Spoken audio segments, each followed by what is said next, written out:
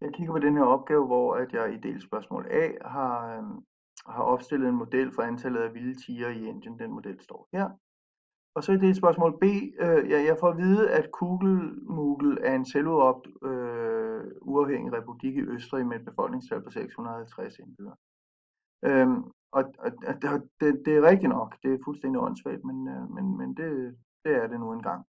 Øh, og lad os antage, at befolkningstallet beskrives af den her funktion, øh, nt er lige med minus 10 gange t plus 660, øh, det vil sige, der dør 10 om året eller sådan noget, ikke?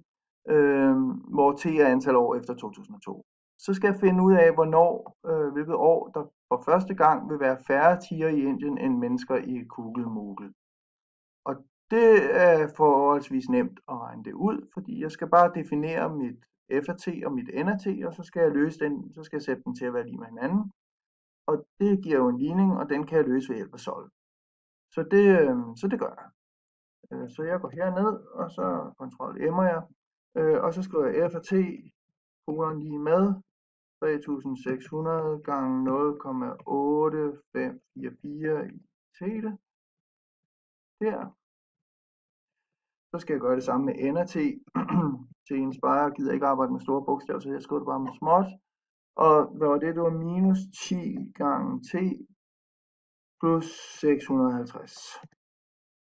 Og så skal jeg løse solve. Hvornår er f af t lige med og n af t, t. Det giver 12 19 eller øh, 64. Og vi startede med at have, så de overhaler hinanden to gange, kan man sige. Vi startede med at have flest tiger.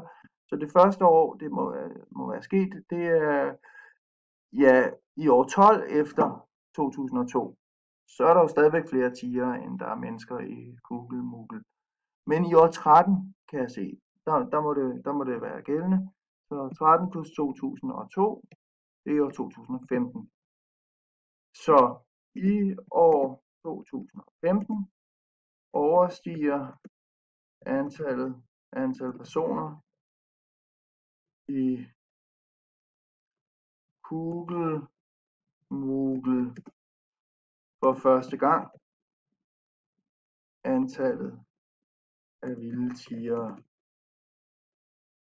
i Indien. Og det kan man jo kun begræde, men det er jo, øh, det er jo sådan set mit facit. Så, øh, så er jeg færdig nu.